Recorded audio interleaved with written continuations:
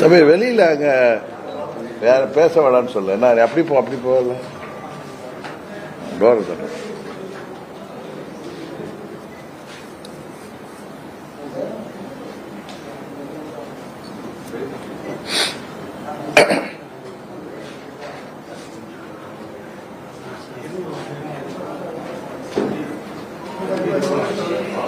தம்பி காத்து. நீ அங்க நின்னுக்கு கதவு தட்டாங்கன்னா அலோவ் பண்ண?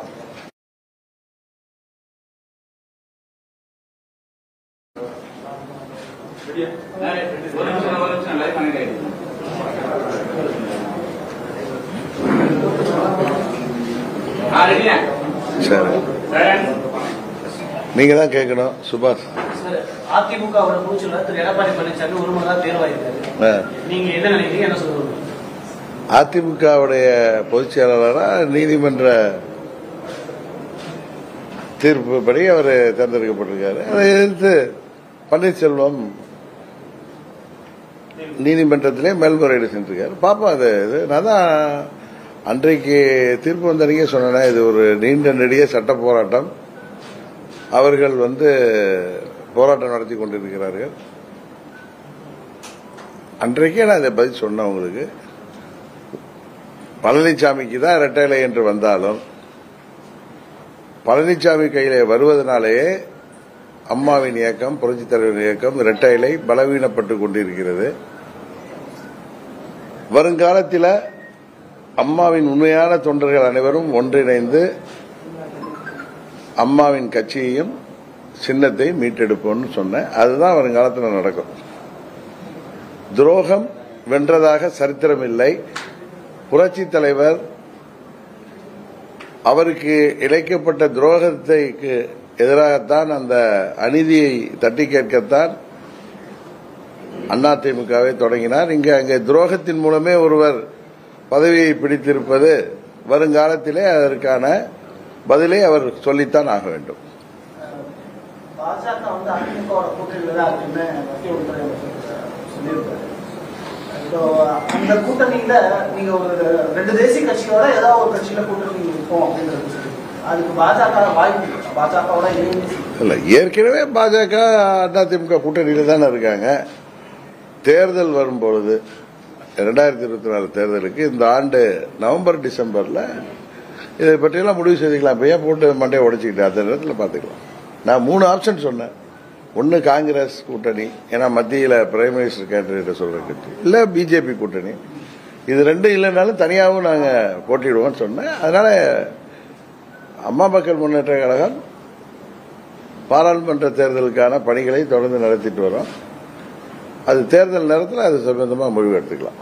எந்த குழப்பமும் இல்லை. எங்கள் மனதிலோ எங்கள் இயக்கத்தின் செயல்பாட்டிலோ. பன்னீர்செல்வம் வந்து ஒற்றை தலைமைக்கு அதிமுக கொண்டு வந்தாரு இந்த தீர்ப்பு வந்து திரு பன்னீர்செல்வம் எடப்பாடி பழனிசாமி. இந்த தீர்ப்பு வந்து திரு பன்னீர்செல்வத்துக்கு ஒரு பின்னடைவு நினைக்கிறீங்களா? நீங்க சொல்றப்பே பன்னீர்செல்வம் கொண்டு வந்துட்டாரு பழனிசாமி கொண்டு வந்துட்டாரு. அதுலயே இன்னும் அந்த உங்க கேள்விக்கு சொல்றப்பே அதுல வந்து இன்னும் ஒரு இது என்ன சொல்லுவாங்க நம்ம ஊர்லலாம் அந்த இந்த சேர் ஓடுற மாதிரி ஓடிட்டு இருக்காங்க. மியூசிக்கல் சேர் மாதிரி. இன்னும் தேர்தல் ஆணையம் இருக்கு. உயர் நீதிமன்றத்திலே மேல்முறையீடு இருக்கு. அந்த கேஸ் கூட நாளைக்கு வர்றதா சொன்னாங்க.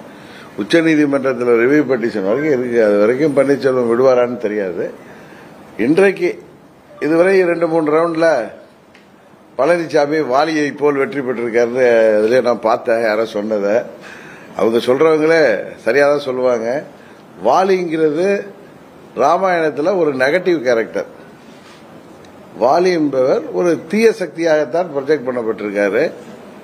அதனாலதான் அவரை ராமபிரான் வந்து அவரை உயிரிழக்க செய்தார் வாலி என்கிற ஒரு கேரக்டர் வந்து நெகட்டிவ் கேரக்டர் சுக்ரீவனுடைய ராஜ்யத்தை மாத்திரமில்ல அவரது மனைவியும் அபகரித்து கொண்டவர் வாலி. அதனால ராமாயணத்துல அவர் ஒரு வில்லனா தான் பார்க்கப்படுறாரு. ஸோ அதே போல இன்று வெற்றி பெற்றதாலே பழனிசாமி புரட்சி தலைவர் ஆயிட முடியாது. புரட்சி தலைவி அம்மா முடியாது. நீதிமன்ற தீர்ப்புகள் மூலம் அடைந்திருக்கிறார்.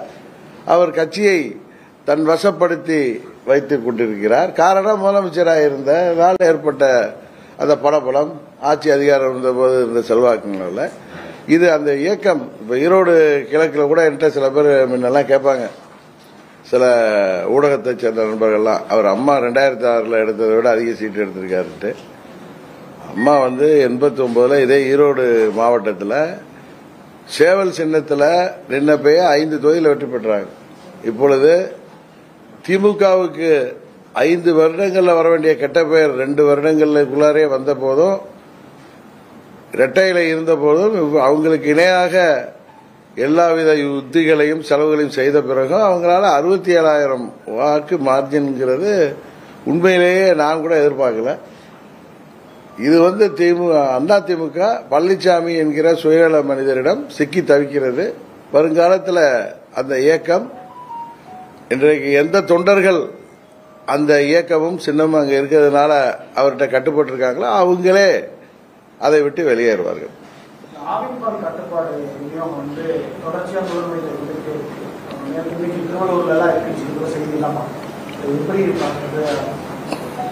அதாவது விடியல் ஆட்சியில் வந்து நிர்வாகம் வந்து சரியா இல்லைங்கிறதுக்கு எடுத்துக்காட்டுது.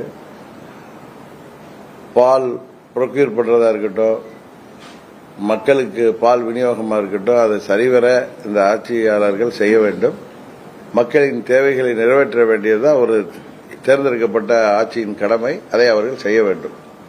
இந்திய பிரதமர் எட்டாம் தேதி வந்து சென்னை வந்தாரு அவர் சந்திக்கிறதுக்கு வாய்ப்பு இருக்குதா நீங்க? சென்னைக்கு வராரா? அது அது மாதிரி ஒன்றும் அது மாதிரி நிகழ்ச்சியெல்லாம் ஒன்றும் இல்லை. என்னிடம் கூட சில ஊடக நண்பர்கள்லாம் கேட்டாங்க ஏதோ ஒரு ரூமர்னு நினைக்கிறேன்.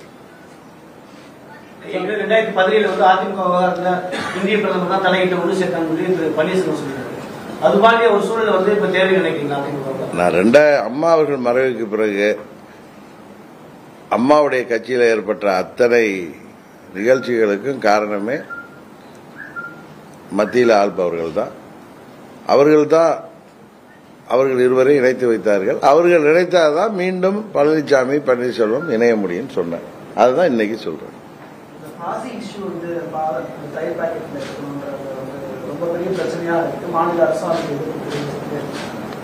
தகிக்கு நகின்னு சொல்றதுதான் தமிழ்நாட்டு மக்களுடைய எல்லோருடைய கருத்து. ஏன்னா இங்க ஏற்கனவே தயிர்னு அழகாக தமிழில் வார்த்தை இருக்கு. இன்னொன்னு இணைப்பு மொழியாக உலகம் முழுவதும் இணைப்பதற்கு ஆங்கிலம் அது காடுன்னு இருக்கு.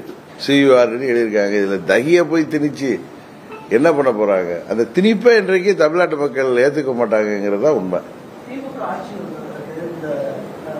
பழங்குடியினர் மலைவாழ் மக்கள் இந்த மாதிரி இருக்கிறவங்க பொது இடங்கள் அனுமதிக்கிறது கோயில் அனுமதிக்கிறது நேற்று கூட ஒரு திரையரங்கில் அனுமதிக்காம இருக்கு இந்த மாதிரி பிரச்சனைகள் தொடர்ச்சியாக இருந்துகிட்டே இருக்கு.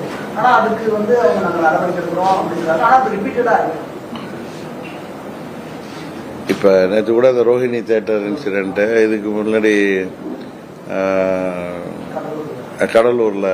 என்ன வேட்டா வயல இது மாதிரி நிகழ்வுகள் நடந்து தான் இருக்கு இது அரசாங்கம் இது போன்ற நிகழ்வுகள் நடக்காம முதலமைச்சர் அதில் தனி கவனம் செலுத்தி இனி இது போன்ற காட்டுமிரண்டித்தனமான செயல்கள் நடக்காம இருக்க அவர் வந்து எல்லா நடவடிக்கையும் எடுக்கணுங்கிறது தான் அம்மா மக்கள் முன்னேற்ற கழகத்தோட கோரிக்கை.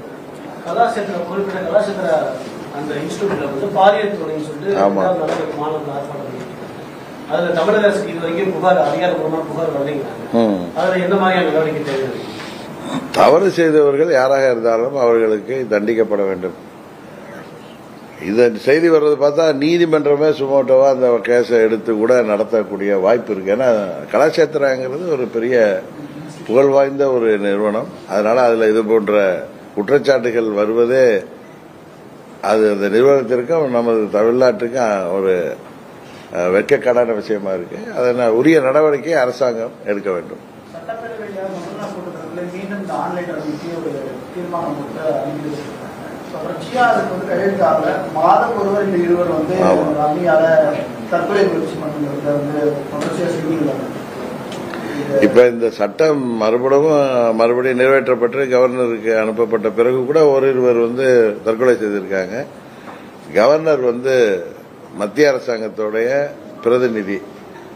அவர் க- ஒரு கான்ஸ்டிடியூஷனல் அத்தாரிட்டி அவர் தனக்கு உள்ள அதிகாரத்தையும் மத்தியிலே அவருக்கு உள்ள அந்த நெருக்கத்தையும் பயன்படுத்தி தமிழ்நாட்டு மக்களின் உயிரோடு விளையாடுகின்ற இந்த ஆன்லைன் லாட்டரி விஷயத்தில் எந்த ஒரு காழ்ப்புணர்ச்சியும் இல்லாமல் அவர் அரசாங்கம் நிறைவேற்றி இருக்கிற அந்த சட்டத்தை நிறைவேற்றி தருவதற்கு அவர் உதவி செய்ய வேண்டும். இதுதான் எல்லாருடைய விருப்பமாக இருக்கிறது. தேர்தல் பணிகள்லாம் ஒரு பக்கம் முப்பெரும் விழான்னு சொல்லி பத்தாம் தேதி ஓபிஎஸ் வந்து கூட்டம்லாம் நடத்த போறதா நீங்களும் உங்க சுற்றுப்பயணத்தை ஆரம்பிக்கிறதுக்கான திட்டங்கள் உங்களோட திட்டமிடல்கள் எப்படி எங்களுடைய திட்டமிடல் தேர்தலுக்காக ஒவ்வொரு மாவட்டத்தையும் சேர்ந்த முக்கியமான நிர்வாகிகள் நூறு பேர் ஒவ்வொரு மாவட்டத்தில் எப்படி இருப்பாங்க அவர்களோட நாங்கள் கலந்து கலந்துரையாடல் செய்து தேர்தலுக்கான பணிகளை தொடங்கிட்டு இருக்கோம் உங்களுக்கு தெரியும். அடுத்த கட்டமாக கிராம கிராமமாக செல்கின்ற திட்டம் இருக்கு அதெல்லாம் நாங்கள் செய்வோம்.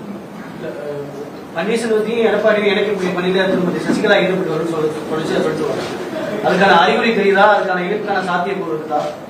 இதை பற்றி நீங்க அவங்கள்ட்ட தான் கேட்கணும். எனக்கு அதை பற்றி ஒன்றும் தெரியாது.